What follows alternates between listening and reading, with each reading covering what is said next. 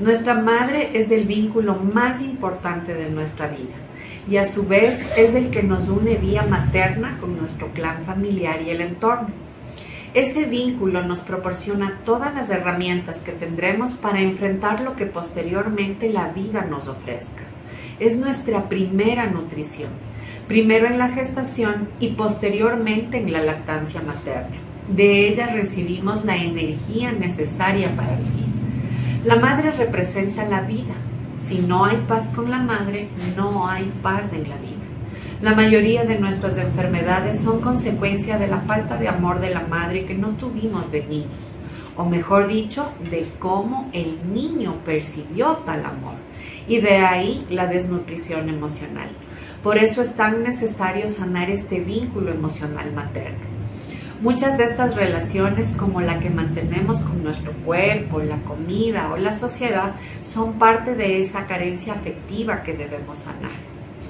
Madre, salud, abundancia y vida están íntimamente ligadas.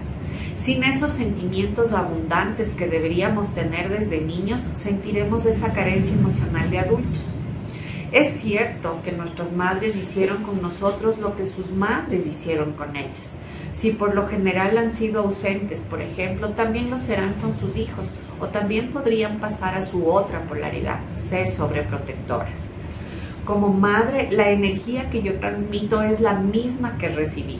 Si carezco de energía porque mi madre no me la dio, es porque tampoco ella la recibió de su madre y solo podemos dar lo que tenemos.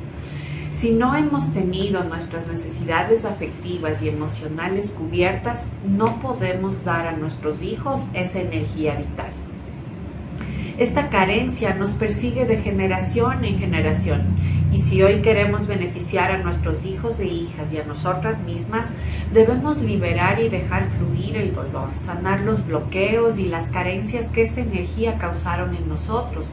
Y recordar que si no lo liberamos, no podremos desarrollarnos como personas e incluso podríamos enfermarnos como madre mirar hacia el pasado esperando a que esa energía de mamá llegue a sí misma no hace más que desproteger a la descendencia y todo se convierte una vez más en una cadena cíclica sin terminar. A todos nos cuesta mucho cortar el cordón umbilical que nos une con nuestra madre, pero si no nos hacemos cargo de esta nutrición emocional ligada a la madre siendo adulta, es necesario saber que estamos desnutriendo a nuestros hijos, construyendo esa cadena de desnutridos emocionales de la que no somos capaces de salir.